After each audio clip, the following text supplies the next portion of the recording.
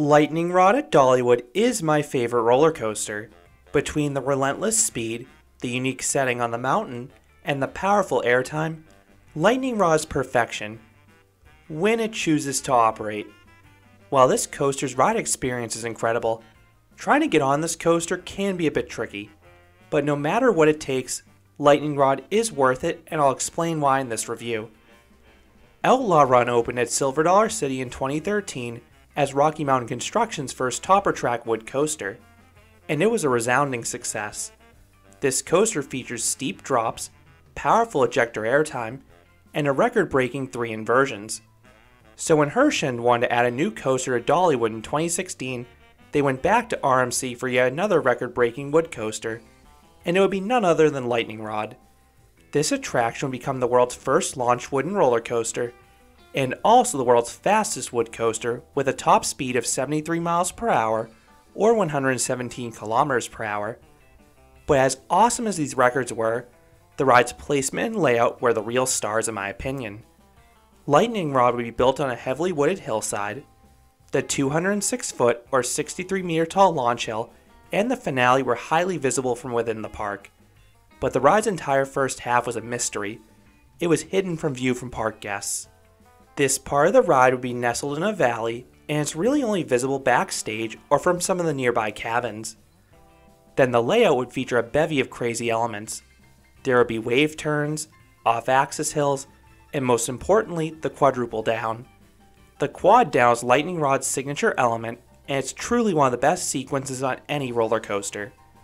This was one of the most anticipated roller coasters of all time. Too bad it was and still is a royal pain to ride. Lightning Rod's opening was delayed three months due to issues with the LSM launch system, which was supplied by a third party in Velocity Magnetics. The ride officially opened in mid June 2016, but the ride closed just days later due to a part recall. When the coaster reopened, it was placed in technical rehearsal for the entire summer season, closing for hours and days at a time. The ride was seemingly closed more than was actually open. But the issues only continued. In June of 2017, the ride's launch was modified, and the coaster has run slower ever since. Many stated the ride was trimmed, but that's incorrect. No brakes were added after the launch. The launch still accelerates you to the advertised 45 mile per hour or 72 kilometer speed, but it seems to cut off sooner so you crest that first hill with even less speed than before. So why did Dollywood do this? The original thought was that it had something to do with the launch reliability, which was unique to this wood coaster. But I think it was due to structural issues. Over the next few years, Dollywood tried to reduce stress on the track. The trains originally had a fancy truck and lead car. The trunk was removed altogether, and the lead car was downsized. And at points, the ride even ran without a lead car. By slowing down the speed you crest that first hill, Lightning Rod would have less speed through the layout and subsequently less stress on the track. Dollywood often ran the coaster with one train to reduce the number of cycles and cumulative wear. The ride developed some potholes over time, including one at the base of the main drop, so it needs some track work over the years. RMC originally built Lightning Rod with their Topper Track technology, and Lightning Rod pushed the limits of it. Topper Track differed from traditional wood coasters because the top layers of laminated wood were replaced with steel. Most wood coasters have just a thin metal layer atop a stack of wood. But between the 2020 and 2021 seasons, 57% of the ride's topper track was replaced with the all steel iBox track. So Lightning Rod became the first and only RMC to be RMC'd. The launch through the main drop, and then the ride's entire second half received the iBox track. The wave turn, twist and shout still have the old topper track. This makes Lightning Rod a true hybrid coaster but I now consider it more of a steel coaster because over half the layout has the iBox track. Lightning Rod still has its issues though. The ride is open more than it's closed, but I expect to see this ride have bouts of downtime throughout the day. The electromagnetic launch system can still overheat. The ride can also throw faults like the best of them. Then last year, the two trains bumped. After a failed launch on a rainy day, Lightning Rod tried to reset itself by moving backwards but it went a little too far and it slid into the train in the station. One other thing to watch out for is snow. Lightning Rod can run in temperatures as low as 37 degrees, but it still has trouble with snow and ice. Because of Lightning Rod's location, it is very difficult to clear this ride's tracks after a snowstorm. The sun has a hard time hitting the backside of the coaster, and the terrain is a challenge to navigate for the employees. I have only visited Dollywood since Lightning Rod opened, and I have a 50% success rate getting on this ride. I've had better luck in my more recent visits ever since the ride was retracked. My fiance has a 100% success rate, although that was almost thwarted this past weekend. After Pigeon Forge got 4 inches of snow on Saturday, Lightning Rod was understandably closed at the start of Sunday. The park worked their hardest and got the ride open for the final 8 minutes of the day. And once we saw that ride open, we hightailed it across the park to get on the last train of the day. Honestly, that's my mentality whenever I see this ride open, because I've been burned by this ride so many times. It was closed during my 2016 trip. Then, when I returned for a week long family vacation in June of 2017, I saw employees working on the launch and I even saw the ride test, but never opened to the public. I then returned in the summer when visiting a friend in Atlanta and decided to close for just that weekend. The first time I was able to ride Lightning Rod was in the winter of 2017, and it was a nail biter leading up to the trip. Pigeon Forge was hit with a big snowstorm the week prior, and I also tore my ankle. While Lightning Rod reopened, I could barely walk, and Dollywood was out of wheelchairs for the weekend. But I was riding Lightning Rod no matter what. I took ibuprofen, bought a big ankle brace, bought an even bigger pair of sneaker to accommodate that brace, and I walked straight legged up and down the stairs into the station. I was not being denied Lightning Rod, and if you're familiar with this queue line, you know it's a bit of a workout, so it's quite the trek on a bad ankle. The queue house has three levels. The station is on the top level, and there are switchbacks on the lower two levels. But Dollywood has seemed to tweak both the queue line how they load Lightning Rod season to season. Originally, Time Saver and the standby queue line were routed directly into the station. Now there are three lines on the second level. The leftmost one is for standby, the right one is for the Time Saver Skip the Line pass, and the middle one is for the new single rider line. At the end of these lines is a grouper. They tend to let just one or two trains worth of people in the station at once. If you're in the standby or time saver line, they'll usually take seating requests. There isn't a bad seat in this ride, but my favorite seat is the front by a slim margin for the added sense of speed. The back is pretty good too because you have that extra pull on the drop. Lightning Rod routinely has the longest line at Dollywood. This is for a few reasons. One, it's an epic ride. People want to ride it. Two, it doesn't have the best capacity. I still often see the ride running just one train, and each train holds up to 24 riders, and it also isn't the fastest at loading. 3. It is still prone to breakdowns, so when people see this ride open, they flock over there. The standby wait can easily be 1 to 2 hours on busy days. Typically, I buy a time saver to maximize my rides on Lightning Rod. This usually gets you on 10 to 15 minutes tops. The single rider line is usually as fast as Time Saver as well if you aren't picky where you're sitting and you're willing to split up your group. Lightning Rod is a 50s hot rod theme. The ride's queue line station is themed to look like an auto shop. There are some details on the walls to look at, but not too much. Then the trains resemble red hot rods with flame decals. I really like how they look. The ride itself has no theming along the course, which is fine, the layout and setting are strong enough to compensate, although the visuals have changed over the past two years. In its early years, many trees hugged Lightning Rod's layout. For safety purposes, the trees adjacent to Lightning Rod and many of Dollywood's other coasters were chopped down before the 2021 season. However, this has had a minimal impact on the ride experience for me. That setting is still so unique and isolated that Lightning Rod feels just as special. That's especially true at night. Lightning Rod is the world's best night ride. There is zero light once you clear the mountain, which makes the sideways airtime even more disorienting. Then when you crest the top of the quad down, you see the beautiful lights of Dollywood down below as you careen down one of the best airtime sequences out there. The restraints are a little different than other RMCs. You have the familiar seatbelt, and you also have the familiar contouring of the lap bar plus shin guards. I don't mind these restraints at all. They allow for airtime, and I don't find them uncomfortable. But I know those shin guards can be a problem for taller guests from a comfort perspective.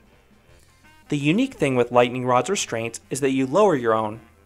On most RMCs, you are chided by the ride ops if you even lower your restraint an inch. On the bright side, you're less likely to get stapled. On the downside, this ride is not very friendly to larger guests. Dollywood's operators will not push down the restraints, so it can be hard for a larger guests to get the restraint down far enough because the employees aren't going to give that extra push. This is even more problematic during Smoky Mountain Christmas when people have all their bulky winter coats on. I think the ride is accommodating as other RMCs in terms of how the restraint needs to be lowered though. It's just difficult because the employees won't help you as much. One other thing to note with the restraints is that they can tighten during the experience, much more than other RMCs. For that reason, I recommend holding onto the grab bars during the ride to maximize your room for airtime. And trust me, there's going to be a lot of airtime. Once dispatched, you roll out of the station and you turn towards the launch. You'll hear some revving noises, which is a neat effect, and you'll likely see the LSMs being blasted with mist. If the ride works correctly, you'll launch in two phases. The initial burst takes you from the horizontal up to the incline. After a split second delay, you start accelerating at a stronger rate up the hill. While Lightning Rod's launch speed may not look all that impressive, you need to remember that you need to overcome gravity. So this launch pulls some solid positive Gs. It's reminiscent of the force you feel on the Hulk's launch, but it's maintained even longer. It's a really unique sensation you don't get on many launches. Once the launch cuts off, you start to decelerate as you crest that first hill. Rather than going straight into the largest drop, you have this dip in between, so the element has been nicknamed Dolly's Humps. Before the launch was modified, you flew over the first two hills. Now you travel through them at a much more gradual rate. You still get two pops of airtime if you're riding up front, and the little dip does give some floater airtime in the back. But the element is the lone dud if you're in the middle of the train. Thankfully, the rest of Lightning Rod is insane for everyone. The second drop is the main plunge, dropping riders 165 feet or 50 meters down to the ground. This drop delivers some good sustained ejector airtime for those in the back between its size and especially because you have a little bit of speed going into it. Even those up front get some floater airtime here as well. Then you also have that stunning visual of the valley that you're dropping into. This drop is one of the most underrated parts of the ride. Very few people talk about it. The pullout used to have a pothole, but now that it's steel, it is very smooth. And it has decent positive Gs as well. You won't get many positive forces on Lightning Rod, but that doesn't bother me too much given how proficient the ride is in the negative G department. You then rocket around this massive wave turn. The scale of this element dwarfs all other wave turns out there. It offers a few seconds of sustained floater airtime. The visual of being rotated 90 degrees while levitating out of your seat is stunning. And I also love how gracefully you plummet back down to the ground when you're in that back row. Now this pullout is the one lone rough patch on the ride currently. If you're in a wheel seat or the back of the car, you're going to feel a bump here. The rest of the ride is extremely smooth though. You then charge through the twist and shout, which feels like a reverse wave turn. You bank outwards to the left before rapidly twisting and dropping to the right. This element offers sustained floater airtime like the wave turn prior. The airtime is a little weaker, but it's almost as sustained, and you really get whipped out of the element too as you change direction. From this point, Lightning Rod is all about pure speed and ejector airtime. You haul over this off-axis hill, which offers a very strong and sustained burst of ejector airtime. Lightning Rod then climbs uphill. You first fly over half a bunny hill. You have so much speed over this hill that everyone gets a thigh-crushing pop of ejector airtime. You then twist to the right and crest over the hillside into Coaster Nirvana, it is time for the famous quad down. You have four very small and very violent dips as you descend down the hillside. Each one has incredibly strong pops of ejector airtime, and you have very little time to recover in between. Between the power and immense speed, this element is insane. It truly is one of the best sequences of any coaster in the world. And it's even better because it sort of feels like a quintuple down because there's this little speed hill afterwards delivering an equally as strong and aggressive pop of ejector airtime.